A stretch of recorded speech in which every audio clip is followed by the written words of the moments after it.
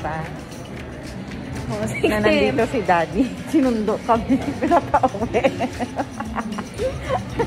Kasi yun ang upo-upo namin dito. Tapos, Grounded na ulit tayo. mas maganda pa daw sa bahay. Totoo daw yung halaman.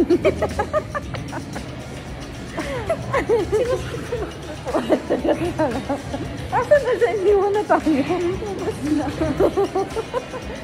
Totoo daw yung halaman. Dito daw hindi. Dapat doon tayo sa ano. Doon tayo sa Sultan Garden. Baka na dito. Ay ko. Ayan na siya. Ayan siya. Sundo na kami.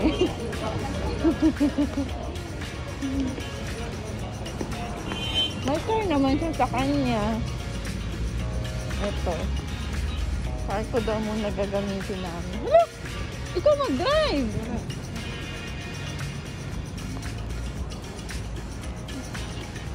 Yung car niya. Kaya na lang daw. Diba? Uy! Dali, dali ka! Picture na tayo doon. Dali! Kayong dalawa! Dali na! Yung ano natin.